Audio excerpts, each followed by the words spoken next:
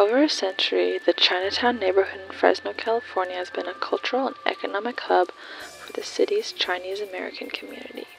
Home to businesses, restaurants, and community organizations, Chinatown has played a vital role shaping the history and identity of Fresno. Many people today only know Fresno's Chinatown as the ruins it is now, but not many people are aware of the area's rich history and importance to the development of Fresno. Chinatown goes as far back as the late 1800s, when most of Fresno's ethnic communities were getting their start here in Fresno.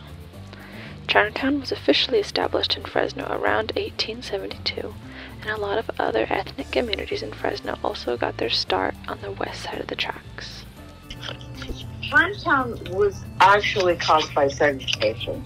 Um, the capital of the area had been Millerton, and when everybody decided to move down to the railroad tracks, to Fresno Station, um, it was quickly determined that the people who built the homes that people were living in, made the bricks, built the homes, um, should live across the tracks.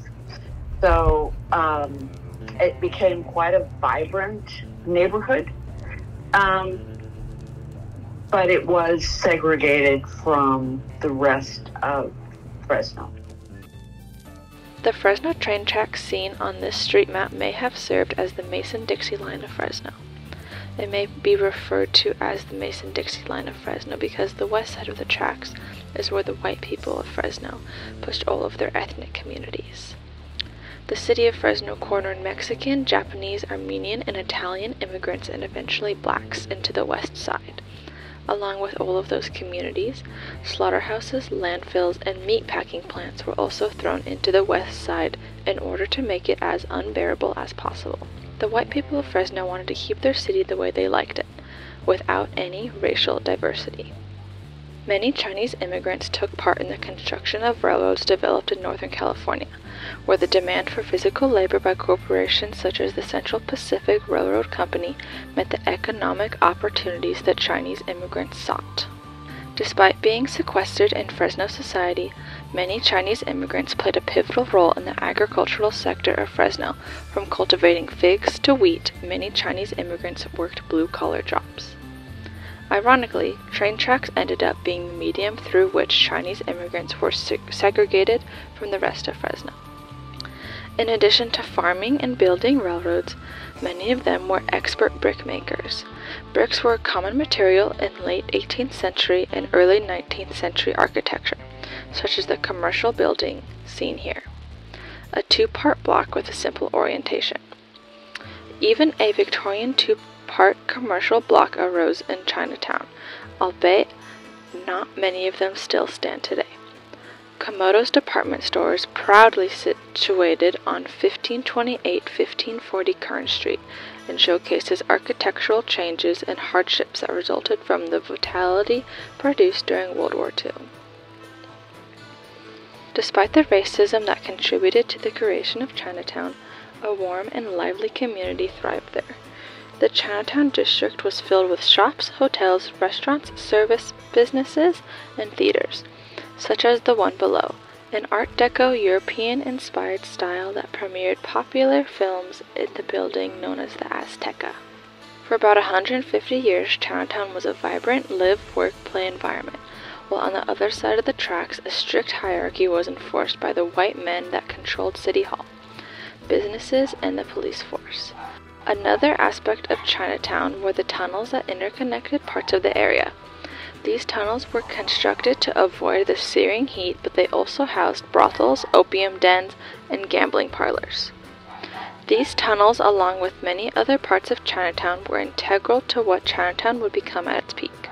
Despite the possibility that these tunnels may in fact have been used as a way to foster these activities during a time in which Chinese discrimination was ubiquitous, the effects of the Yellow Peril on the propagation of rumors centered around belittling Chinese Americans may have also had significant weight on the perception of how those tunnels were utilized. When the city fixed up the road and everything, they sealed all the tunnels. Mm. And then when they built the stadium, there was a tunnel um, that there was an old car in there. Oh, really? And the guy was telling me who was um, responsible for digging up the uh, stadium and stuff. The city official told him just seal it because if it was exposed, then the um, historical preservation would have stepped in, and that would have put a stop on the Grizzly Stadium. Yeah. That's wild. Yeah. So, then, you know, I don't know if you guys knew about this, Uh huh. but um, a lot of things happen with the city, you know, Yeah. behind closed doors. Yeah. We to didn't know stuff. about it Yeah. until the stadium was built. Rumors were likely amplified by citizens that resided on the other side of Fresno's train tracks. Chinatown slash West Fresno was designed for members of the community that were not Caucasian, whereas the opposing side, separated by train tracks, was predominantly Caucasian community due to discriminatory practices during the 19th and early 20th centuries. On February 19, 1942, Executive Order 9066 was put in place. Thousands of Japanese Americans were placed in assembly centers before being incarcerated in internment camps across the United States. Many of the 5,000 Japanese Americans were held in the Fresno Assembly Center. The grandparents of Glen Kubota, owner of Kogetsu-Do in Chinatown, were put in the internment camp and had to temporarily rent their business out. As far as I know, my grandparents, my grandfather was from Hiroshima, and my grandmother was from Tokyo. And uh, they came over here, I guess. They started the business in 1915, so they probably came here in the early 1900s, 1905, 1906, somewhere around there. Uh, first, they were on Kern Street. I don't know exactly where. In 1920, they moved over here. Mm-hmm. And that's a picture of them in this store in 1920. Oh yeah. There's all gas lamps and like that. Yeah. That's crazy. Um, the little boy is their first son, Roy. Um, my dad came in after that, 19. Well, he was that was taken in 1920, so he was born in that year when that picture was taken. Oh wow. And your dad um, owned the business before you did, or Oh yeah, you, so you took over from him? Uh, it's, it was my grandfather, and then he had two sons, Roy and Moss, and they took over. And so my dad took over, and as years gone by, um, I would watch him, you know, how to do things Mhm. and stuff, uh, but not really learn all the specific techniques until I came into high school. And that's when I started learning. He was teaching me how to do the bean paste and the degrees for the munching and everything. And um, when he had, when he became ill, then I started doing more and more. How many years? Yeah. Um, okay, I'm 68 now, so uh, um, probably when I was like 20, 21. Um, well, the church is one thing. And then they used to have the Obon Fest here in Yeah. Fresno by the old church. So that was another big thing. Everybody in the Central Valley would go to that church and to the Obon. Um, we just celebrated Girls' Day March 3rd. And then, oh, there was a lot of businesses. Mm-hmm. Uh, a lot of ethnic groups, Mm-hmm. you know, like Chinese, Japanese, His- um, Hispanics, African Americans, uh, Filipino, Mhm. Germans, Italians. You know, it was. It's not like today where everybody's, I don't know, angry or whatever. Yeah. Everybody got along. We looked out out for one another out here Mm-hmm. Yeah. because we were so close, a community. Yeah. And as the years went on, the first generation, it really passed on. The kids did not want to take over. Mm-hmm. So the buildings are dilapidated or you know, as is. Yeah.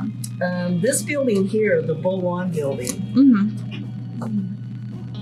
it, it's the one that was burnt down next to Hoho Cafe. Yeah. Mm-hmm. So this is what it looked like back then. The lady did an artwork on it. I mean, it was a beautiful building. Mm-hmm. Yeah. But a lot of people that were born near Chinatown, Mhm. this area, they still remember the store. Yeah. They bring their kids and their you know, parent, their children bring their kids, Mm-hmm. like during the snow cone season or the manju. you know. Yeah. Mm-hmm. That helps us keep alive. And then we're getting all different nationalities that like Yeah. the pastries. Mm-hmm. So that's really neat. I like that. Yeah. Mm-hmm. Oh, we're like on the back burner. Yeah. Yeah. Um, there was a lot of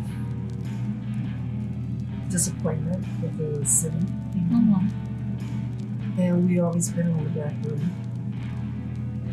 Um, with this high speed rail, I understand that they would like to demolish this whole area and just rebuild. Mm-hmm. But this area has a lot of history Yeah. that Yes. they don't understand because they weren't born here. Mm-hmm. They're from out of town, Yeah. most of them. Mm-hmm. And being government, I don't think they really care. Yeah. Yeah. So, but everybody out here really cares about Chinatown, the community. Um, they work really hard to establish their business, to make it survive, and uh, um, we understand that it takes a lot of money to refurnish or to even rebuild an Mhm. old building. Mm-hmm. Um, it's really hard when you have the Poverello House down the ways past Ventura, Mm-hmm. because that's the hub for the homeless. Yeah. Excuse me.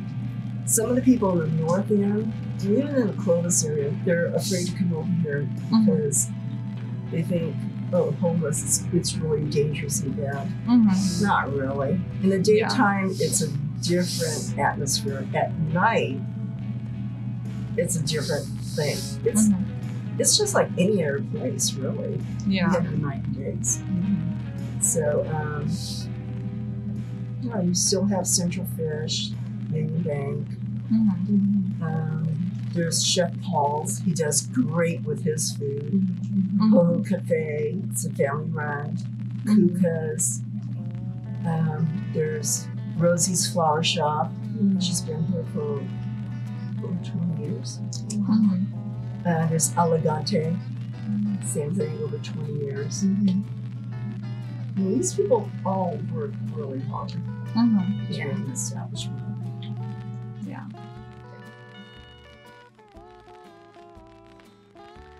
In the early 1900s, a system was created to segregate the city of Fresno.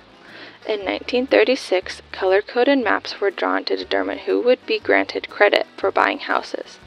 White neighborhoods were color coded green, while the minority neighborhoods, like the West Side, were colored red.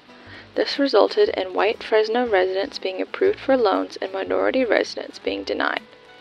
This practice is called redlining and further segregated Fresno and isolated the West Side and Chinatown.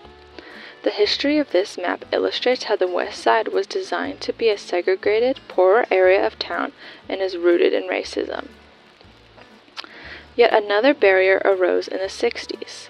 The urban renewal projects of the 1960s further wedged the divide in the city of Fresno. The projects were meant to revitalize the city but instead further separated the West Side. Redevelopment agencies were formed in California in 1945, and the redevelopment agency in the city of Fresno became active in the early 60s. And there, um, the focus was to address urban problems such as blight, degraded buildings, and a lack of affordable housing. So, Chinatown being able, began to feel the impact of that around around 1960, and the redevelopment agency came in and declared many buildings blighted. And when they declared a building blighted, they pretty much had carte blanche to do that. When they declared a building blighted, it was destroyed. And the supposed goal of redevelopment agency destroying buildings was yes to remove blight, but also to rebuild affordable housing. In Chinatown, that didn't happen. So there are many pieces of flat ground in Chinatown that were the buildings were destroyed by the redevelopment agency, and there was no building done in Chinatown, uh, affordable housing or otherwise, on any of those flattened properties. These urban renewal projects ultimately began the deterioration of Fresno's Chinatown. Fresno Chinatown has been home to many different minority groups. Not only did Chinese and Japanese people find community there, but historically so did Armenians, Mexicans, Italians, and even Basques. Chinatown is more than just a neighborhood. It's a symbol of Fresno's community's heritage and identity. It's a place where people have come together and celebrated their cultures and supported one another in times of need.